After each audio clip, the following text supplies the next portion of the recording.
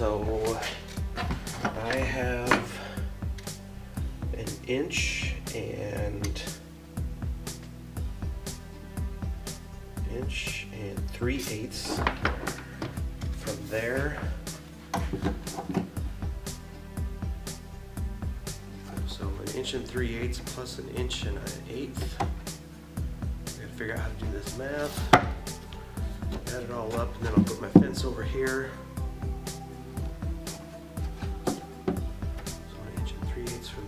Is gonna be an inch and a half over from there. Learn your math.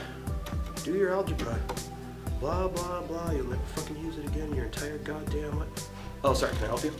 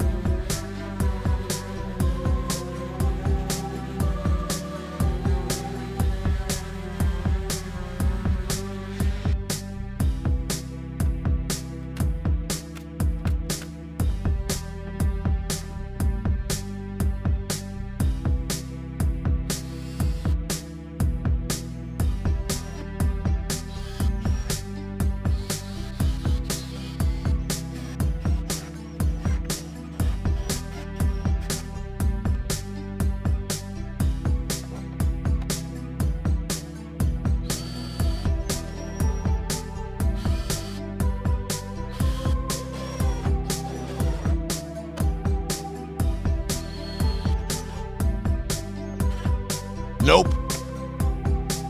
Nope. Nope. Nope.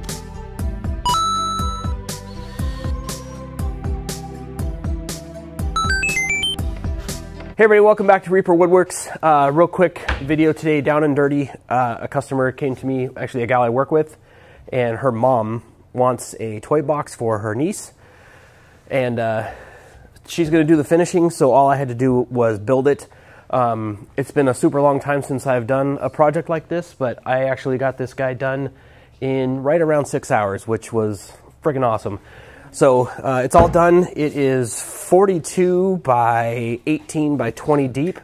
Um, piano hinge on the back, little gas piston here on the lid. All the corners are rounded over so little fingers and whatnot don't get scratched. And it's got this little recess here for fingers when they close, they won't get smashed here in the middle. So now that I've done one and uh, I know what I want to change and make just a little bit different for my kiddos, that is on the short list of things to do.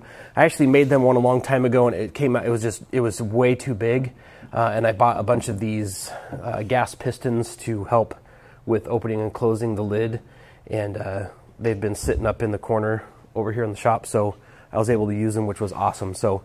Anyway, that's that. Um, I think I missed some of the filming and putting the trim on, but it was just, I think I got a little bit, but it's all just glued and finish nailed on. And then I did an eighth inch uh, round over on every edge except for the top. So again, she's going to finish it. I don't have to. My part's done. All I got to do is deliver it to her now. So I'll send her a message here in a little bit and uh, let her know that it's finished. And uh, I'm going to go inside and edit this video and get it posted probably tomorrow when I'm at work because the internet there is better. And uh, that's it. Thanks for watching. Take care.